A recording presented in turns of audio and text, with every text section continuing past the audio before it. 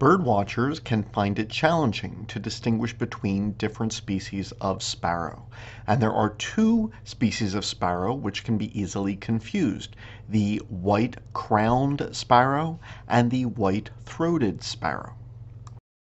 While it is true that the white-crowned sparrow does have a light-colored throat, it is a grayish or a pale white color. Uh, there is a bright white pattern uh, on the throat of the white-throated sparrow, which is much more noticeable. Both species possess a white median stripe in between two black stripes at the top of their head, but in the white-crowned sparrow this is much wider, while in the white-throated sparrow this stripe is narrow.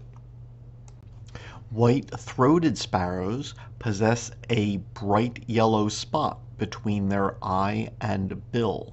In addition, their bill tends to be a darker color, a dark gray, while the white-crowned sparrow lacks this spot and their bills tend to be a pinkish in color. Unfortunately, there can be some complicating factors.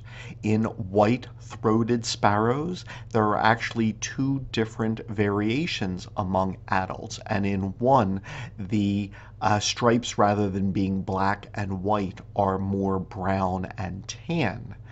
And in white-crowned sparrows, immatures lack the white crown, and it is more of a buff color.